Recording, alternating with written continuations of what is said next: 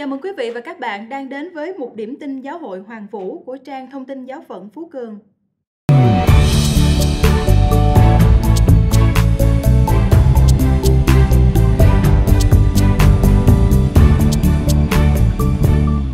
Tám biện pháp Đức Giáo Hoàng đưa ra để giải quyết vấn đề lạm dụng tình dục trong giáo hội.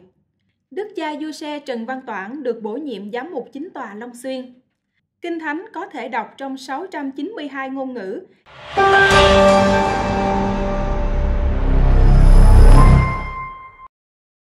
Tin Vatican, 8 biện pháp Đức Giáo Hoàng đưa ra để giải quyết vấn đề lạm dụng tình dục trong giáo hội.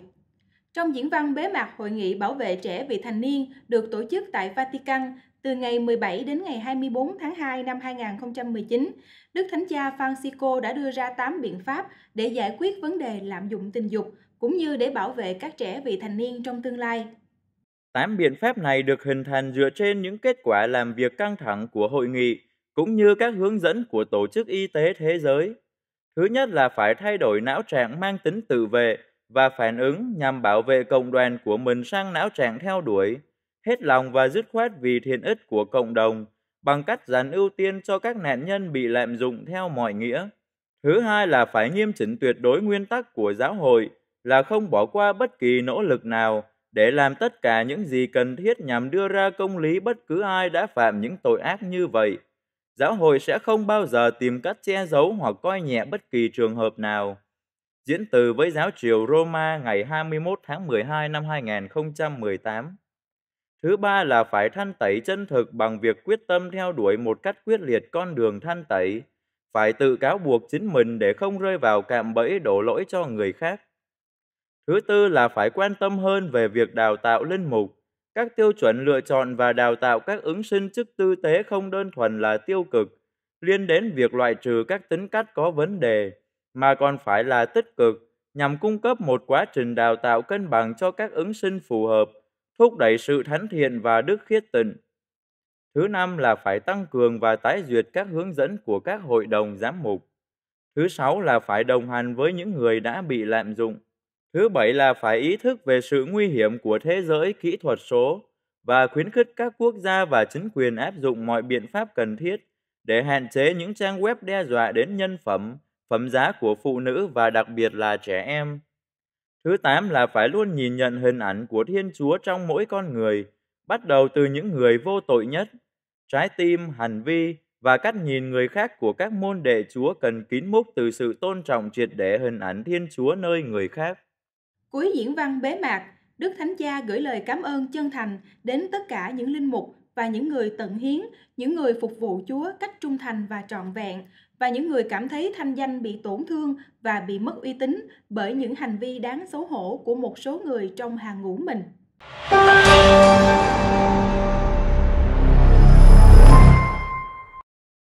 Tin giáo phận Long Xuyên Đức cha Du Xe Trần Văn Toản được bổ nhiệm giám mục chính tòa Long Xuyên. Trong thông cáo đưa ra hôm thứ Bảy ngày 23 tháng 2, phòng báo chí Tòa Thánh cho biết Đức Thánh Cha Francisco đã chấp nhận đơn từ chức khỏi các trách nhiệm mục vụ tại giáo phận Long Xuyên, Việt Nam của Đức cha Du Xe Trần Xuân Tiếu. Ngài được kế vị bởi Đức cha Du Xe Trần Văn Toản, hiện là giám mục phó của cùng giáo phận. Đức cha Du Xe Trần Xuân Tiếu sinh ngày 20 tháng 8 năm 1945 tại Nam Định. Ngài được thụ phong linh mục ngày 10 tháng 8 năm 1974 và được tòa thánh bổ nhiệm làm giám mục phó với quyền kế vị tại Long Xuyên ngày 3 tháng 6 năm 1999. Ngài trở thành giám mục chính tòa Long Xuyên sau khi Thánh giáo hoàng Gioan Phaolô II chấp thuận đơn từ chức của Đức cha Gioan Bautista Bùi Tuần vào ngày 2 tháng 10 năm 2003. Đức cha Du Xe Trần Văn Toản sinh ngày 7 tháng 4 năm 1955 tại tỉnh Quảng Nam, giáo phận Đà Nẵng song thân ngài gốc giáo phận Thái Bình miền Bắc Việt Nam, theo học tại Tiểu chủng viện Long Xuyên từ năm 1966 đến năm 1974, rồi tại Đại chủng viện ở địa phương từ năm 1974 đến năm 1981. Thầy Du Xe Toản đã phục vụ 11 năm trong giáo xứ Môi Khôi, Thạnh cuối giáo phận Long Xuyên, trong khi chờ đợi được chịu chức linh mục. Thầy thụ phong linh mục ngày 16 tháng Giêng năm 1992 thuộc giáo phận Long Xuyên sau đó cha đã lần lượt đảm nhận các chức vụ sau đây. Từ năm 1992 đến năm 1999, cha làm phó sứ Môi Khôi, Láng Sen, hạt Vĩnh Thạnh. Từ năm 2000 đến năm 2005, cha theo học tại Đại học De La Salle, Manila, Philippines và đậu tiến sĩ về giáo dục. Từ năm 2006, cha làm giám đốc trung tâm mục vụ và phối hợp các hoạt động mục vụ và truyền giáo, giám đốc tiểu chủng viện Thánh Teresa, giảng dạy môn truyền giáo học tại Đại chủng viện Liên giáo phận Cần Thơ.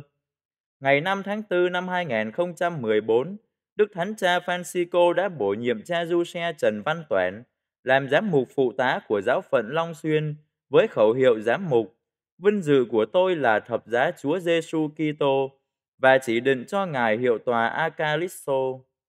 Ngày 25 tháng 8 năm 2017, Đức Thánh Cha Francisco đã bổ nhiệm Đức cha Giuse Trần Văn Toản làm giám mục phó giáo phận Long Xuyên với quyền kế vị.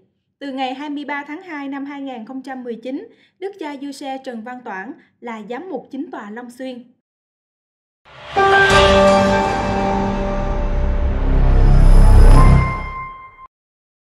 Tin Hoa Kỳ Kinh Thánh có thể đọc trong 692 ngôn ngữ theo báo cáo truy cập Kinh Thánh toàn cầu của Hiệp hội Kinh Thánh Hoa Kỳ, gọi tắt là UBS, thì hiện nay toàn bộ Kinh Thánh có thể được đọc bằng 692 ngôn ngữ. Như vậy 18 ngôn ngữ đã được cập nhật so với cùng kỳ năm ngoái. Theo UBS, thì có khoảng 5,6 tỷ người truy cập vào tất cả các văn bản của cựu ước và tân ước theo tiếng mẹ đẻ. Tân ước đã được dịch sang 1.547 ngôn ngữ khác nhau. Như thế, ít nhất một cuốn sách kinh thánh có thể truy cập bằng 3.362 ngôn ngữ, nhiều hơn 38 so với năm trước. Alexander M. Schweizer, người đứng đầu của khoa dịch thuật UBS khẳng định, chúng ta đang sống trong thời đại mà thông điệp của kinh thánh về lòng thương xót, hòa giải, công bằng, hòa bình và tình yêu là rất cần thiết. Đó là lý do tại sao điều quan trọng là đảm bảo mọi người có thể truy cập kinh thánh trong bất cứ ngôn ngữ nào. Các hiệp hội kinh thánh, các nhà nghiên cứu kinh thánh và các nhà tài trợ đã cùng nhau làm việc hiệu quả hơn bao giờ hết, và sự phát triển công nghệ đã mở ra những khả năng không thể tưởng tượng được. Được biết, Hiệp hội Kinh Thánh có khoảng 7.350 ngôn ngữ trên toàn thế giới, trong số đó có 245 ngôn ngữ ký hiệu dành cho người điếc còn khoảng 4.000 ngôn ngữ, trong đó Kinh Thánh chưa được dịch.